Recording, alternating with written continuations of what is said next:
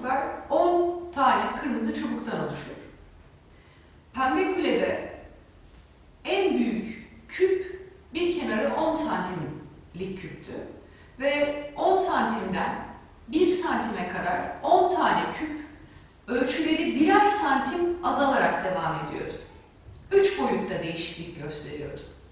Kahverengi merdivenlerde sadece iki boyutta boyu sabit kalıyordu, genişliği ve yüksekliği değişiyordu.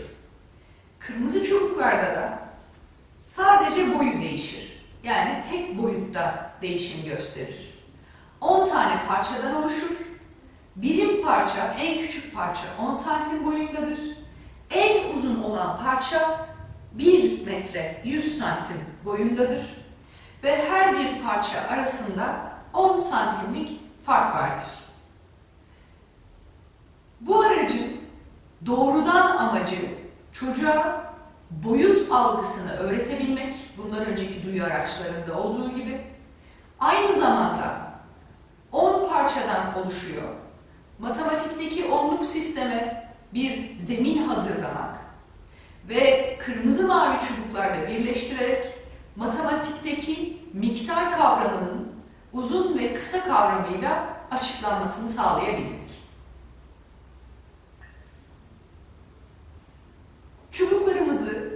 Yerinden karışık bir biçimde alıp kilimimizin üzerine seriyoruz. Arkasından en küçük çubuğu alıyoruz ve bunun en kısa çubuk olduğundan emin olabilmek için ölçüyoruz. Sonra kilimin sonundaki çizgiyi belli ederek kırmızı çubuğumuzu o çizgiye denk gelecek şekilde yerleştiriyoruz.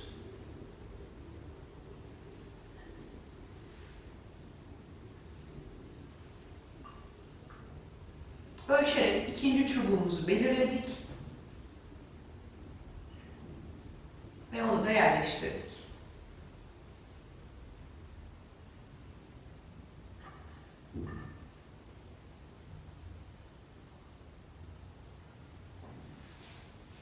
Çocuğunuzun daha rahat görmesini sağlamak için onun görüş alanını açabilirsiniz.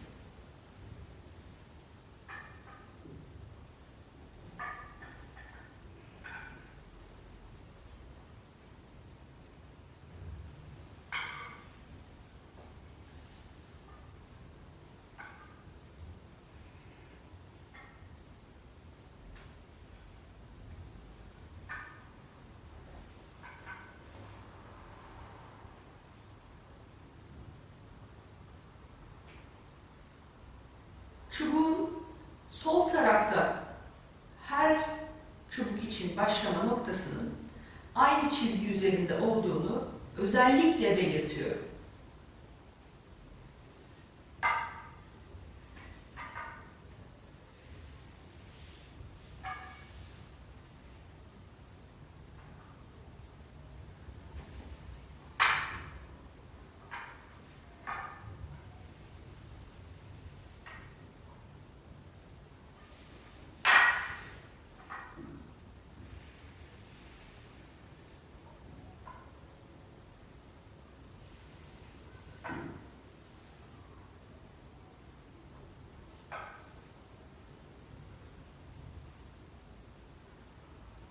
Bu merdiven görüntüsü kırmızı çubukların hata denetimi için önemli.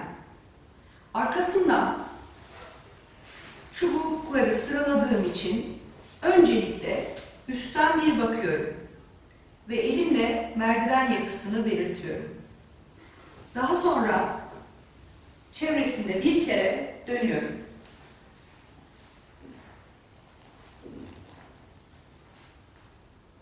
Her yönden o merdiven yapısını çocuğa göstermeye çalışıyorum. Aynı zamanda buranın aynı çizgi üstünde olduğunu da gösteriyorum.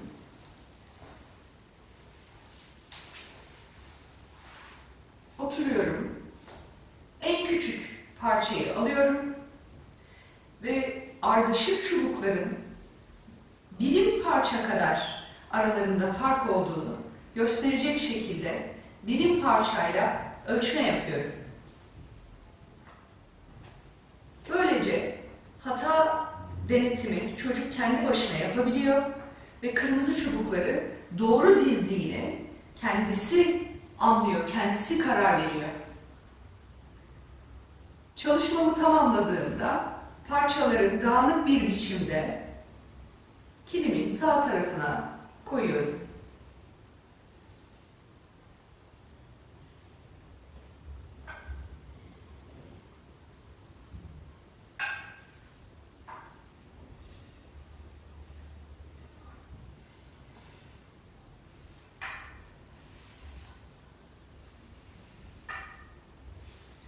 Çocuğuma sen kırmızı çubuklarla çalışmak ister misin diye soruyorum. Eğer çocuk çalışmak istediğini söylerse çalışma alan, alanını ona bu şekilde bırakıyorum. Eğer çocuk çalışmak istemediğini söylerse o zaman kırmızı çubukları sınıftaki yerine tekrar yerleştireceğim. Sınıftaki yerine yerleştirirken rafta en uzun kırmızı çubuk rafın arka tarafında duruyor. Bu yüzden arkadan öne yerleştirecek şekilde önce en uzun kırmızı çubuğu almam gerekiyor. En uzun kırmızı çubuğu alıyorum ve en kısaya doğru rafın üstüne yerleştiriyorum. Aracımı yerine yerleştirip kilimimi kaldırdığımda çalışmam sona ermiş oluyor. Bir başka gün kırmızı çubuklarla tekrar çalışmak için çocuğumu davet ediyorum. Bugün diyorum kırmızı çubuklarla seninle farklı bir çalışma yapacağız. Hatta onu heyecanlandırmak için hatırlıyor musun pembe kuleyle kule yapıyorduk, kahverengi merdivenlerle de kule yapıyorduk. Acaba kırmızı çubuklarla bir kule yapabilir miyiz? Kilimimizi seriyoruz ve sınıftaki yerinden kırmızı çubukları tek tek en kısadan başlayarak kilimin üzerine getiriyoruz. Ve kilimin sağ kısmına karışık bir biçimde çubukları koyuyoruz. Bu çalışmada en uzun çubuktan başlamam gerekiyor. Ölçerek çalışmama başlıyorum. Öncelikle hangisinin en uzun çubuk olduğuna karar vermeliyim. En uzun çubuğu yerleştirdim. Şimdi ikinci uzun çubuğu bulmalıyım.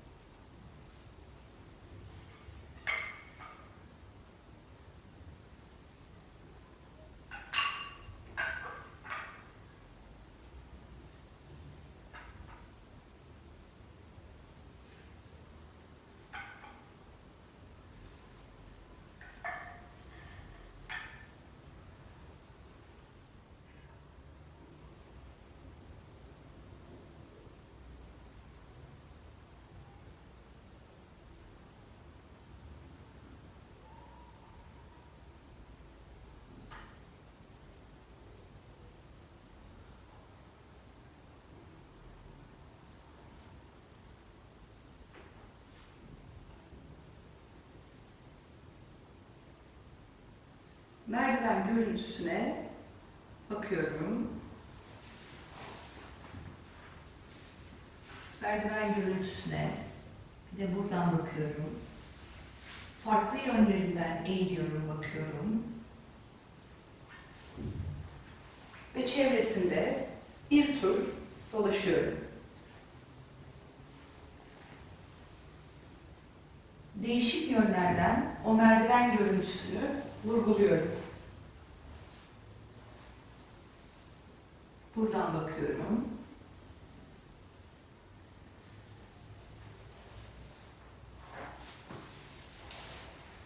Sonra birim parçayı alıyorum ve tek tek diğer çubukların o birim parça kadar farkları olduğunu çocuğa gösteriyorum.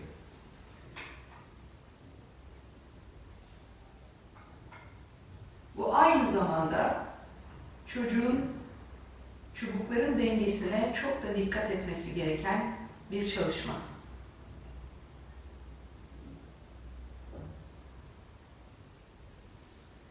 Çalışmayı tamamladığımda öylesine zor çalışmalarda olduğu gibi çünkü daha önce de belirttim bir mücadeleyi başarıyla tamamlamış oluyor.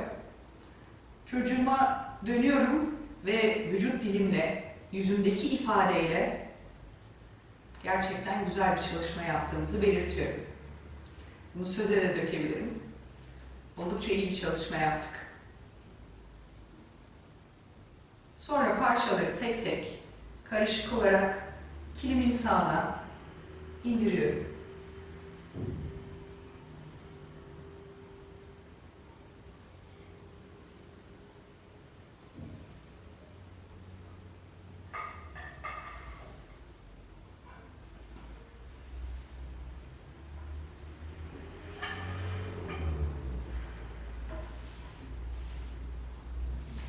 Ve çocuğuma sen çalışmak ister misin diye soruyorum.